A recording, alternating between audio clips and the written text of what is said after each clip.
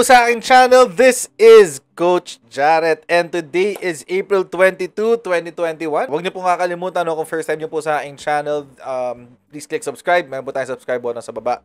Also, huwag niyo rin po kalimutan mga kaibigan pa-click yung um, notification bell, yung like at share buttons.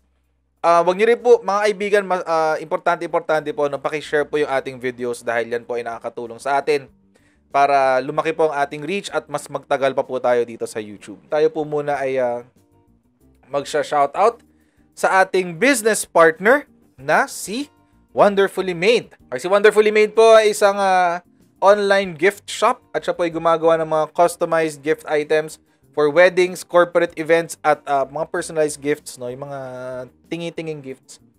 Tulad nito mga kaibigan, may nagregalo, okay, may umorder sa kanya ng pamparelax tsaa. Yan. Butterfly pea ang flavor nung tsaa. So, ganyan din po yung pagkakabalot, ganyan din po ipapadala, ganyan itsura ipapadala. Napakaganda po mga kaibigan. Yan. So, um, tulad din nito, no, nag, uh, may umorder for a wedding. Will you be my bridesmaid? So, yan mga kaibigan. So, kung gusto niyo po ng mga napakagandang gifts, lalong-lalo na po ngayon magma-Mother's Day na mga kaibigan, kontakan nyo lang po si Wonderfully Made sa kanyang Instagram account. Meron po siyang Instagram, may message button po siya dyan. Meron din po siyang Facebook, no? Meron din po siyang Facebook account. Hanapin nyo lang po yung pangalang wonderfullymade.ph. Okay? Huwag nyo po kalimutan to, yung .ph. Maraming pong nakakalimot yan.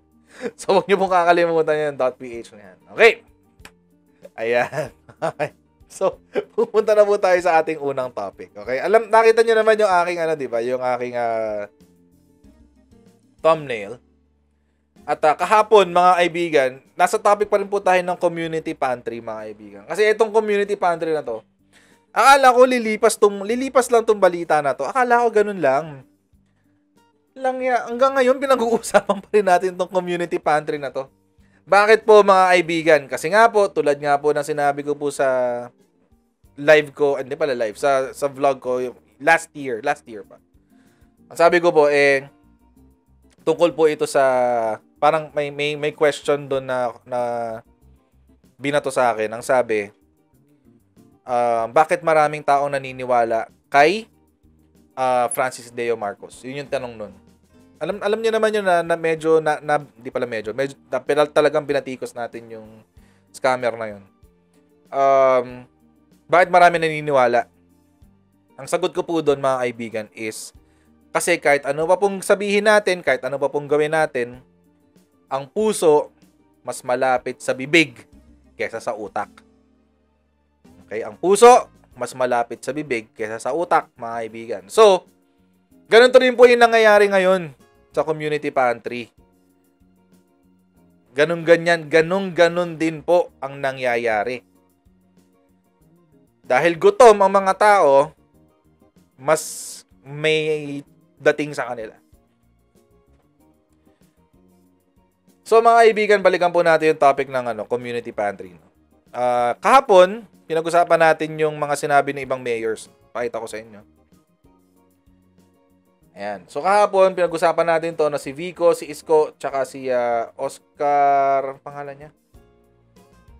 Uh, Oscar Malapitan. Ayan. Uh, silang lahat ay nagsabi na hindi na hindi sila mag um, magbibigay ng uh, permit sa mga community pantries. Okay, sila po yung nagsabi niyan. Okay? Ito yung mga ay, ba't ayaw mag-load ng tweet? Ang bagal ng internet ko ah. Anyway. Itong sinabi ng Pasig. Itong sinabi ng Pasig, mga kaibigan, Community uh, community pantries have sprung up in Pasig. We commend the individuals who are helping as they can afford. Government has limited resources so any effort to help others are very welcome, sabi ni uh, Vico Soto, na darling of the Dilawans. Ayan. Para sa mga nagtatanong, hindi kailangan ng permit. Wala po tayong quote-unquote permit to help. Okay. Sabihin nyo rin po yan sa mga not-for-profit organizations, ha? Kasi yung mga NGO kailangan ng certificate.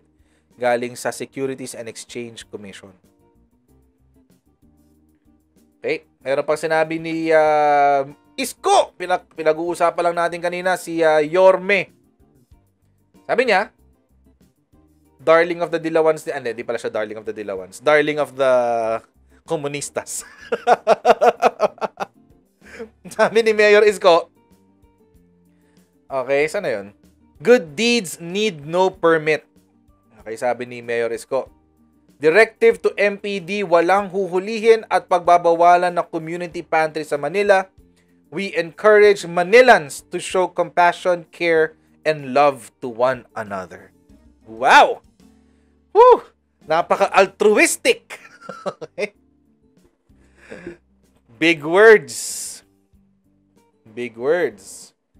Tignan natin ha, kapag ang mga lugar nitong mga to, yung Pasig at Maynila, eh, overrun o punong-puno na ng mga makakaliwa. Tingnan lang natin kung masasabi pa rin nila yan. Si Mayor uh, Malapitan naman sabi, Pasasalamat at pag at suporta ang dapat natin ibigay sa mga nasa likod ng community pantry sa lungsod.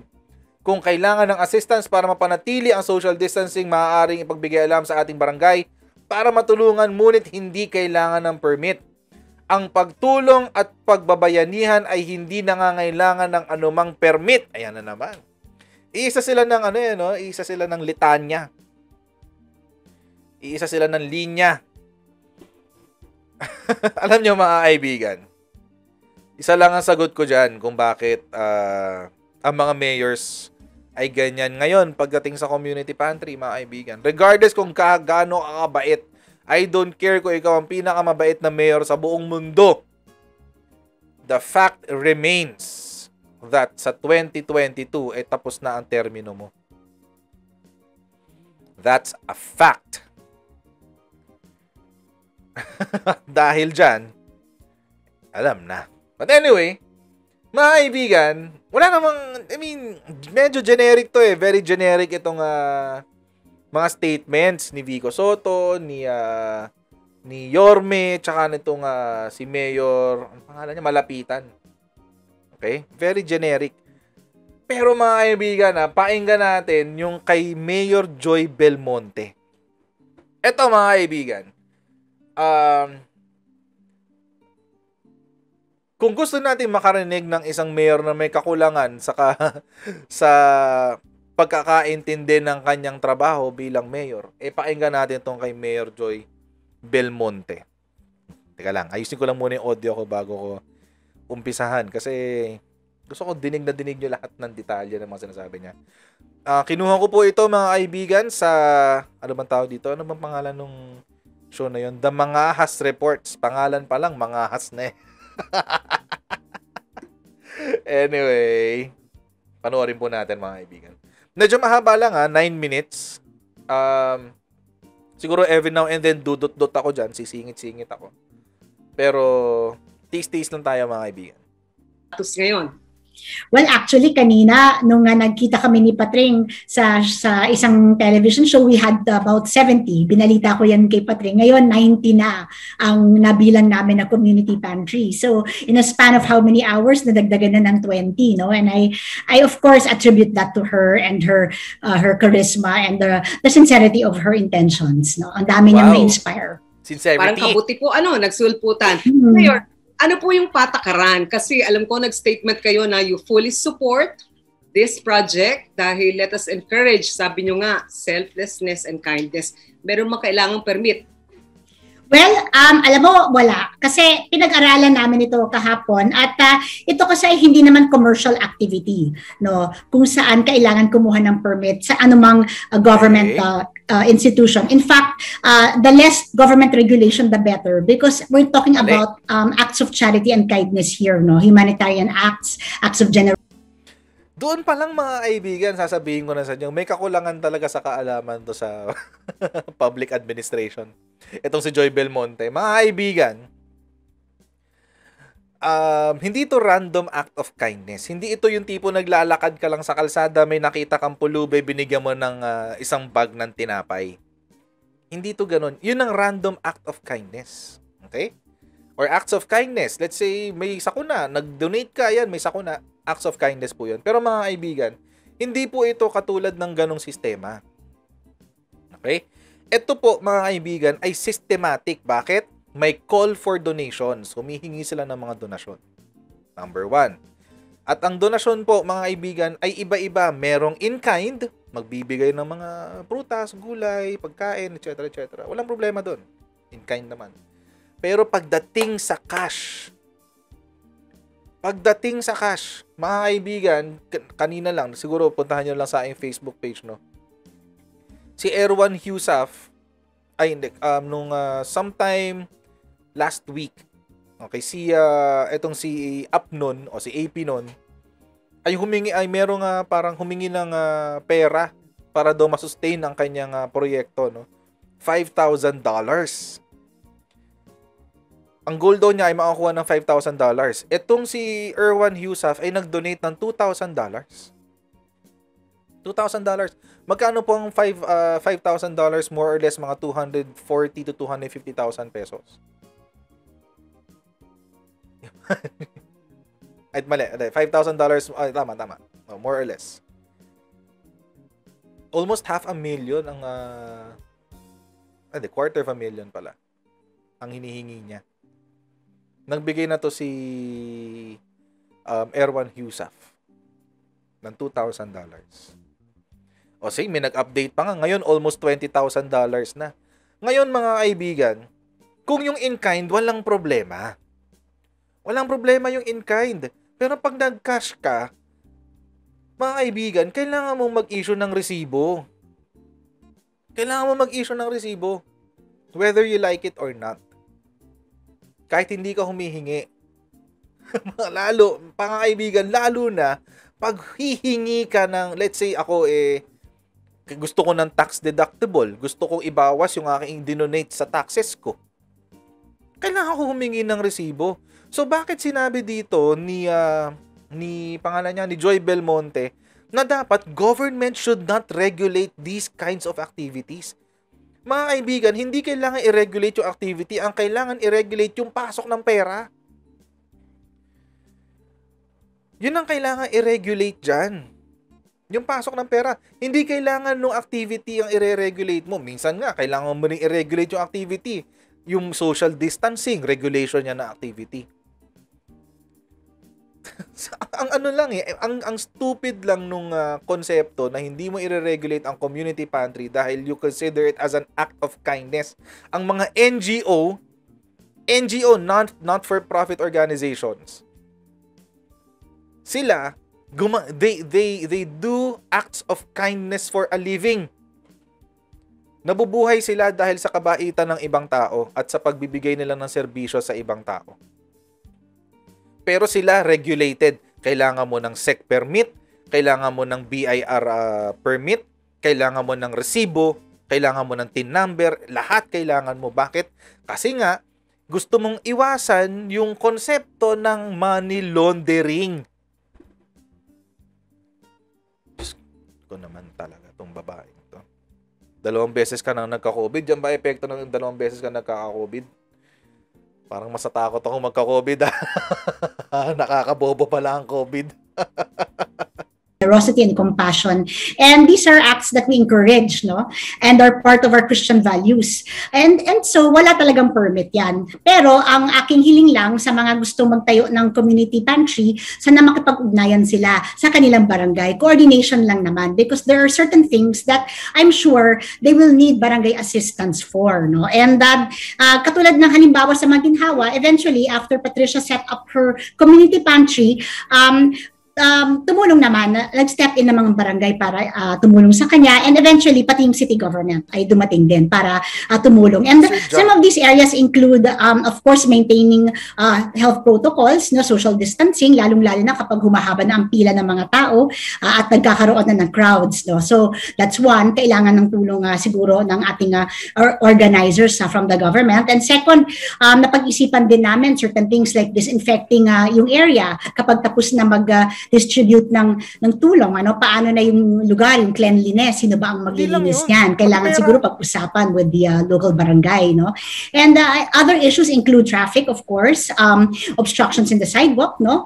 Um, kasi ito naman, yung mga ordinansa tayo dyan. So while uh, we encourage these acts, ayoko naman na itong mga community pantries natin ay mag-violate ng mga iba pang mga ordinansa ng ating lungsod, no? Uh, kailangan sumunod din sila. And uh, another issue somebody raised to me was safety, food safety, kasi iba-iba ang mga pinanggagalingan ng mga pagkain, dinodonate, at uh, okay lang yung mga ready to eat at siguro mga gulay, pero some might be meat products na siguro kailangan uh, na may mag-check kung talagang uh, pwede pang kainin or safe uh, for human consumption. So may mga ganyan na nag-raise na sa akin ng mga issues. And just uh, earlier, I received some letters also from certain residents ng mga communities kung saan may mga pantries na sa kanila.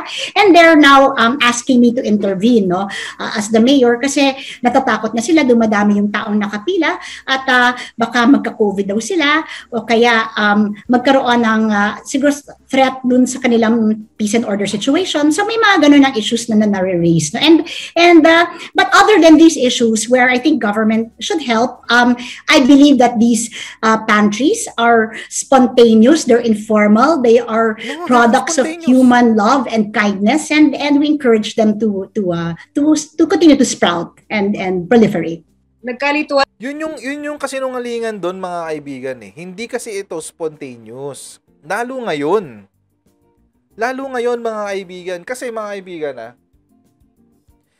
sa in this day and age na lahat ng tao ay gutom or merong mga tao, malaking porsyento ng tao ay nagugutom o may sakit, etc. etc madali po talaga tayo masusway ng kahit anong ano uh, madali tayong mabobola sa mga ganitong klaseng usapan. Hindi po ito spontaneous. Ang spontaneous po mga, mga tipong hindi pipick upin ng GMA. yung mga spontaneous. Mga kaibigan, kahapon ko pa po sinabi, no?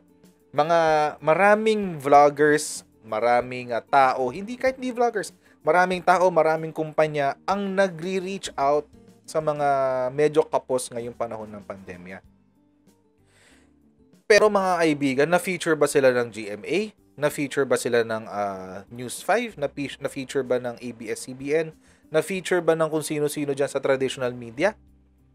Wala. Ito lang, kaisa-isang babae na to. So this is not an accident. And to think na kung iisipin natin na ito'y isang aksidente, we are being naive o nag, uh, nagpapaka-inosente tayo. Parang wala tayong alam sa kalakaran ng mundo. Tuloy tayo. lang po yata doon sa pagkuha ng mga personal na impormasyon ano po at yung tipong uh, pag-post ng red tagging post. Actually, Malu, ito yung nangyari no? at gusto ko lang ipaliwanag alam mo, I, I hate, uh, hate na hate ko yung question na yan. Dahil pangatlong beses ko na mapanoorin to. Hate na hate ko yung question na yan ni mga has. Una, pinag, uh, pinagtabi niya o pinagsab, pinagsama niya yung konsepto ng red tagging at ang konsepto ng privacy. Magkaiba po yun. Okay, magkaiba po ang privacy, magkaiba ang red tagging. Dito mga kaibigan, makikita natin kung gaano kaloko-loko ng traditional media pinagsama niya sa isang question. So, ibig sabihin, mga kaibigan, ang gusto niyang palabasin, meron siya dong gustong i-highlight.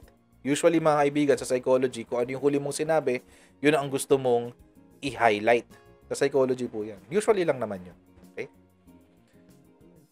So, ang gusto niyang i-highlight talaga dito, mga kaibigan, yung red tagging. Tapos, tinabi niya yung privacy, yung personal information, etc., etc., bilang suporta dun sa red tagging. Panoorin natin. Tuloy natin, mga kaibigan, kung anong sagot ni Belmonte. Yeah, so um, ang nangyari kasi I, yes, yesterday very early in the morning, I was forwarded the fa- Facebook message of Patricia, no, and and she she um talked about how she was not going to continue her uh, community kitchen or community pantry for the day because she was uh, a little bit afraid. She had apprehensions because she had been red, red tagged. And also because three police officers had approached her asking for personal details. No? So at medyo naging uncomfortable siya doon. And she asked for my help. And of course, she's my constituent. Immediately, I, I messaged her and I called our Quezon City Police District uh, uh, uh, Director, no, si General Yara. I immediately asked him to investigate itong red tagging. And he came back back to me right away. Ang nangyari doon, meron palang isang post galing din sa ibang FB page called Peace Philippines um, na, na, na share sa Quezon City Police District official Facebook page ng kanyang IT personnel. But that the, the, the page was actually a red tag of the Maginhawa um, uh, uh, pantry, community pantry, wherein Patricia was red tagged there. No? And um, I immediately told um, General uh, Yara, please investigate this because this is not correct. This is not even validated. What prompted your IT personnel to post this? And if this is not validated, we can consider it as fake news or not true. And we cannot be. Do you actually care Inababalik ko kay Joy Belmonte. Ito, ang haba ng baba niya dyan sa pagpagkapagkakapost na yan. anyway, may pakialam ba talaga kayo sa katotohanan? Sige nga, nagsusulputan na lahat ng expose tungkol dyan sa iba't ibang community pantries. By the way, ah, hindi lahat ah, ng community pantries. May mga select community pantries dito sa Pilipinas na minamanage ng CPP. Okay, Pag ba sinampal kayo ng katotohanan, papansinin nyo?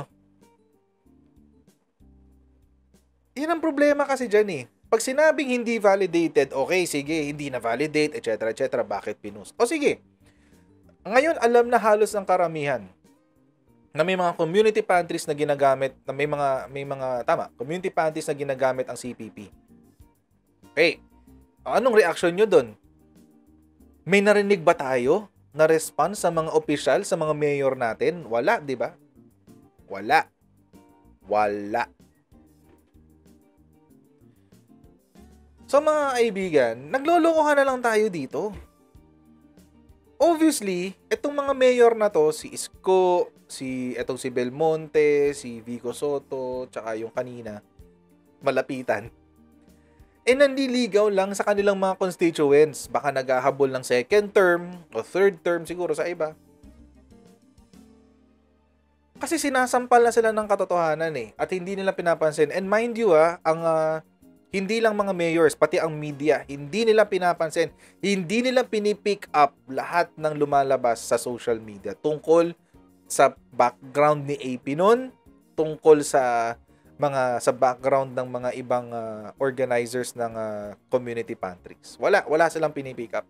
Wala silang pake propagators of fake news because we are the government. I told him that. And and actually, um, sabi niya he is in the process, he will be in the process of disciplining this this particular IT uh, personnel. No? So that was that's the first issue. Yung second issue naman ay at, at at incidentally binabayan ng Quezon City Police District yung post na yan. Um, the Doesn't second issue anything. is yung tatlong uh, police no. So pinatawag ko or actually I went to the police uh, station no station na 9 at kinausap ko yung station commander at tinanong ko mga tao mo ba ito dineploy mo ba itong mga ito sa Maginhawa at upang hingiin ang ang details ni Patricia. They had uh, long arms. Yan ang binanggit sa akin ni Patricia. And uh, dito sa Quezon City, ang hawak lang kasi ng mga pulis namin yantok kasi their job is social distancing. So I I gave them all yantoks. Uh, at uh, kahit sa ayuda areas kung saan we're talking about millions being distributed, they only just have yantoks, not arms. No? So um, ang sabi sa akin ng police uh, commander, hindi namin yan tao Until later in the day, inamin naman ng uh, NTF-LCAC na tao nila ang mga pinaikot sa mga community pantries. No? Walang politika, walang kulay, at sabi nga ni Patricia, it doesn't matter kung ano yung personal background ko. Ang point is the project is a mutual project. Yan po yung tingin niya. Dapat ho bang meron pang suspicion na baka mga pula itong mga grupong nasa likod ng pantry? Why not? Why not? Bakit hindi ka magsususpecha? Eh, trabaho ng press yun. Trabaho ng press magsuspecha. Yun ang sinabi ng, kakasabi lang ng Rappler yan two days ago. Sabi nila, ang uh, hindi raw objectivity ang trabaho ng press. Ang trabaho daw ng press ay magsuspecha. Hindi raw trabaho ng press magbigay ng objective na balita, ng patas na balita. Ang kanilang trabaho ay maging suspetyoso. Bakit hindi? Ba't hindi natin tanungin ang background niya? Eh yung kapag nagdo-donate nga tayo ng mga malalaking halaga sa mga korporasyon, sa mga NGO, tatanong natin ano bang ginagawa ng NGO na yan? Sino ba ang pinuno niyan? Ano ba ang uh, history niyan? Matagal na ba yan? O hindi ba fly by night yan? ko. so what? May mayroon talagang cause for suspicion. Dapat talagang pagsuspechahan. Trabaho nyo yan sa press. Ipapasa nyo pa rin ba sa amin yan, mga sibilyan? What the hell? Buti nga kami nang tatanong eh. ano ba meron dyan kay AP no na yan? Ano ba meron kay Patreng no na yan? Ano bang meron dyan?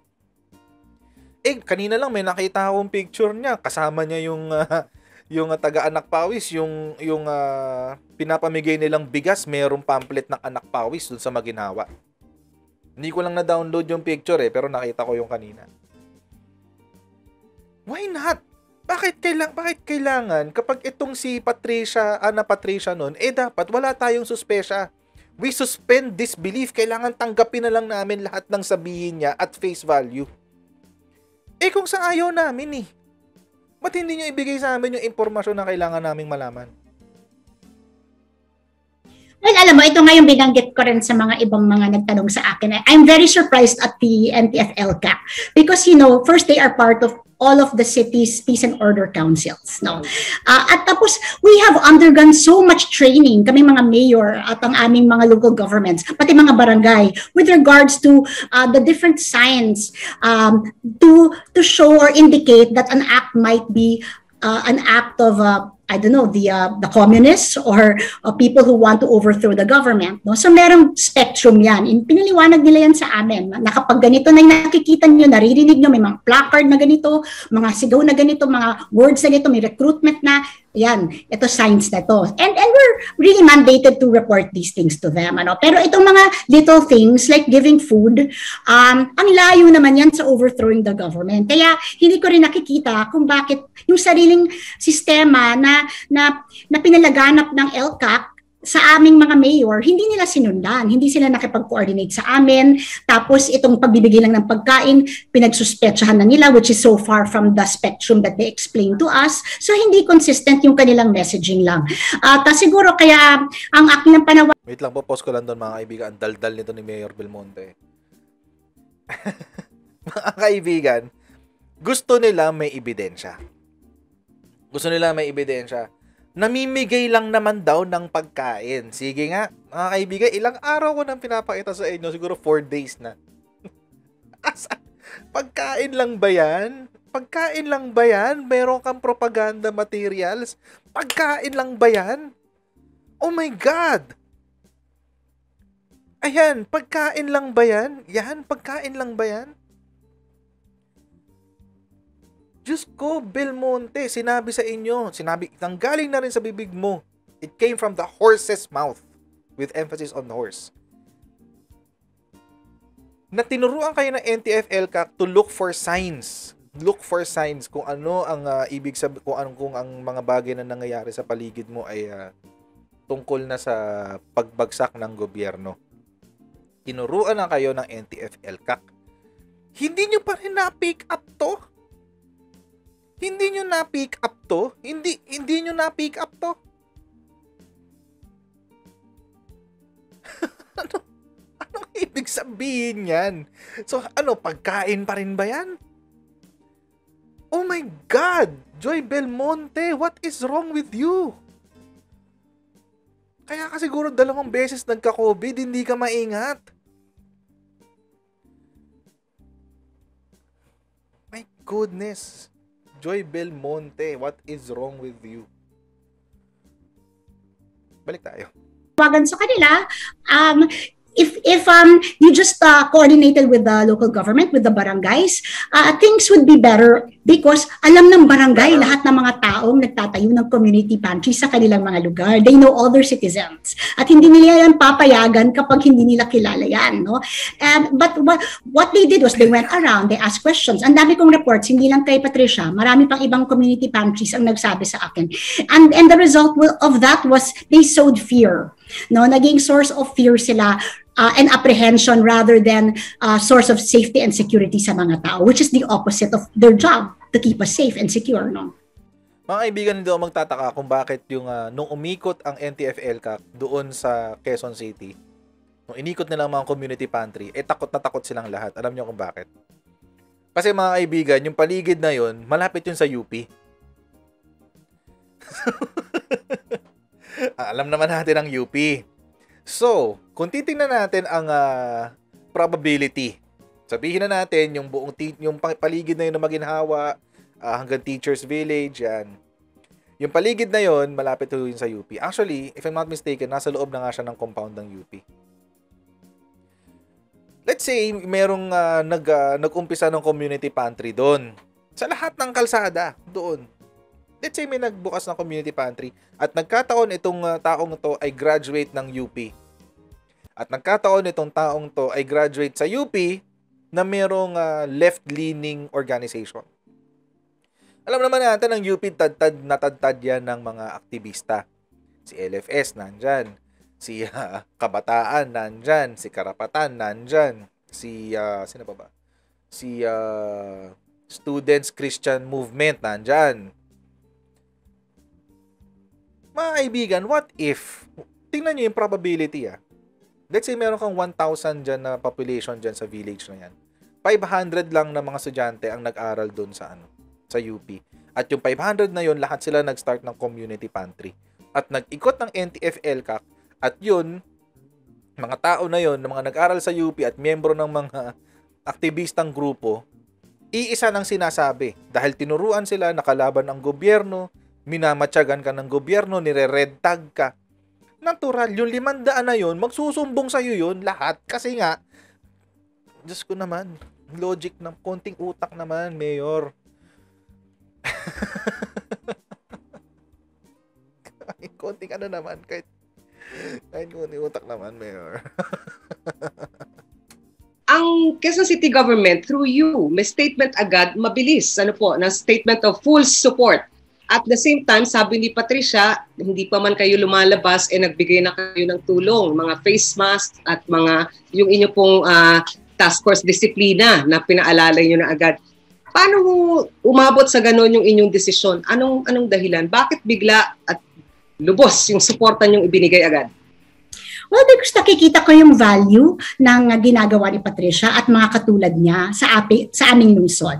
Uh, hindi naman pwedeng i-deny, Malu, na merong gaps ngayon sa ating uh, pagbibigay serbisyo sa ating mga mamamayan. Nagbibigay man tayo ng ayuda, tingin ko, hindi siya uh, sapat.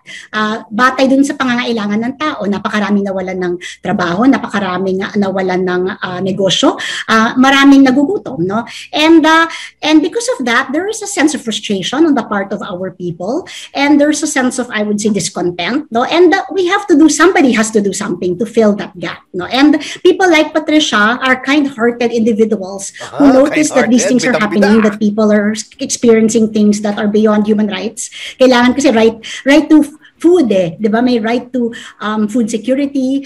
Um, kasama 'yan eh sa mga kailangang ipaglaban natin. Yun, putol na. kailangan daw 'yan sa mga kailangan ipaglaban yung food security. Mga kaibigan, ang ending din pala, kaya niya bidang-bida si Patricia at kaya bidang-bida siya sa community pantry. Bakit? Kasi inambi, tinanggap naman niya. May mga kakulangan siya may mga kaulangan siya at dahil sa community pantries, eh, guma- gumaganda ba? Hindi. sa pamamagitan ng community pantries ay nagpapapogi siya. Yun yun mga kaibigan. Kaya niya, kaya siya bilib na bilib sa community pantries. Dahil kahit papano, mga kaibigan ha, it's a she's not that smart pero at least naiintindihan niya yung ganun level, no? Nahayaan lang niyang tumakbo ang community pantries, hindi ko sila pipigilan. Pagdating ng eleksyon at ako'y kakandidato, sasabihin ko sa mga tao, o mga kaibigan, ako yung mayor na pumayag na magkaroon ng community pantries dito sa, sa Quezon City. Kahit tinutulig sana ng NTF-LCAC, kahit uh, binabasyo ng ating administrasyon at mga kung sino-sino pang, kung sino-sino pang trolls sa paligid tulad ni Coach Jarrett. as if ma, as if masasabi niya yan. Pangalan ko doon. But anyway, kahit binabatikos tayo, ako yung mayor. Ako yung mayor na nagpapayag ng community pantry kaya lahat tayo nakakain. Lahat tayo nakapag whatever, nakaraos tayo ng uh, pandemya. Ganun lang yun. Not to mention, hindi niya kailangan gumastos sa kanyang budget. masaya ang constituents niya, hindi pa siya gumastos.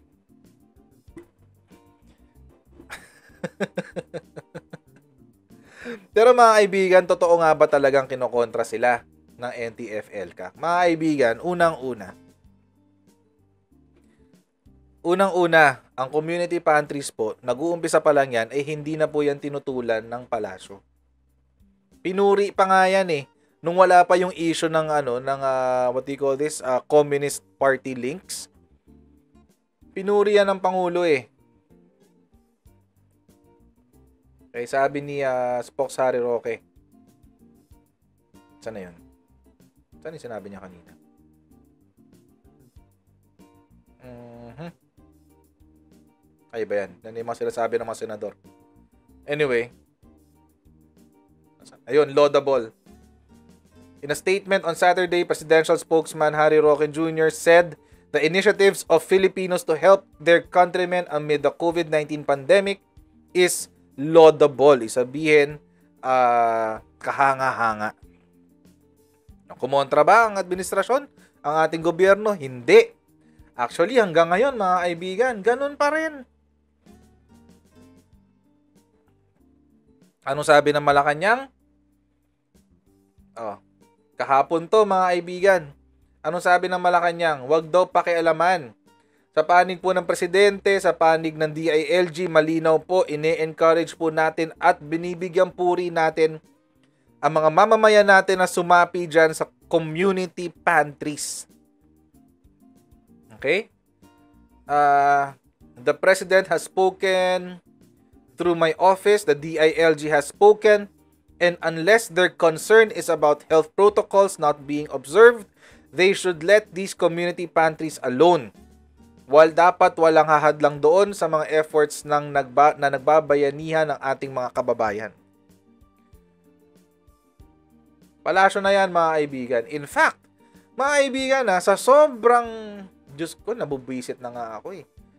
Um, nagkakautaw na itong mga ating ad- administrasyon sa sa healing. Okay? Sa healing or sa giling ng uh, ng mga aktivista. Concession na nga to mga kaibigan. Eh. Anong sabi ni uh, Sobehana? Okay, sabi niya So, wait, wait lang. Ano sana? Sana, sana. Mm. Okay, sana yun? Aha. Ay, kay Joy Belmonte yung kanina. Sana yung sinabi ni ano? Uh-huh. Ayun. Ay, hindi, hindi. Yan pala kay ano. Sana yun. Ito, ito, ito. So, Behana said that he ordered the Civil Military Operations or J7 to support various community pantries that appeared across the country amid the COVID-19 pandemic. Imagine mga kaibigan, gobyerno na ang naikialam dyan sa community pantries na yan. I already directed my J7 to issue a directive to all our units to organize themselves, particularly the Civil Military Operations Unit or CMO, and support this kind of undertaking among the other partners in the society. Mga kaibigan. Tingnan nyo ha. Gobyerno na to. Administrasyon na natin to. Sana, ang tagal. Wala, ang bagal ng internet. Bagal daw na internet ko. Ay, nako. Ayan. AFP na yan, mga kaibigan. Ay, putik. Naman! May oras ako dito hinahabol, oh. Ayan, ayan, ayan, ayan, ayan.